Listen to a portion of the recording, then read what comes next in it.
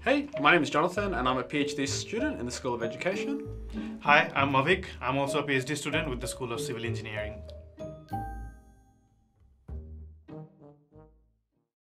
Uh, it was very scary for me for once. Um, it was like, yeah, one year milestone, and you have to present in front of all these members who you don't know, you never worked with, um, who are very civil engineering related. And I don't come from a civil engineering background, so it was already very daunting for Yeah, me. daunting. Uh, but again, your uh, supervisors are your support system. Keeping that transparency, keeping that uh, relationship with your rela- your supervisors really help you move forward. They will they will support you during your uh, progress review.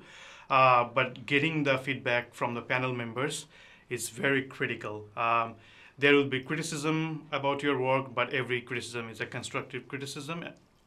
It's de- it depends on how you take it uh, and how you can incorporate and improve your research for the next stage. Um, so uh, I think my progress review was very good. Um, as long as you respect each other's response, uh, it's not like you're fighting against what the panel members is asking you to do or clarification.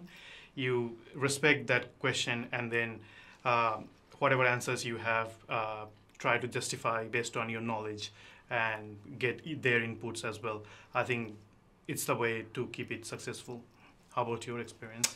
Well, I actually haven't had my progress review yet, so Ooh. mine's happening in January. Um, so mine is coming up. Um, but what I will say is they're, they're very useful to keep you on track, uh, knowing that you have these uh, reviews coming up. Uh, They're, they're, they're useful tools.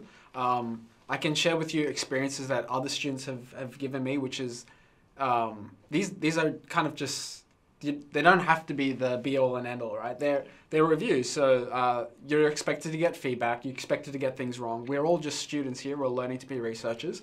Um, so don't put too much pressure on yourself.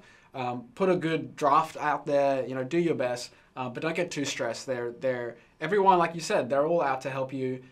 Take the feedback on as constructive, and you'll be all right. And just use them as as ways to keep motivated. Yeah.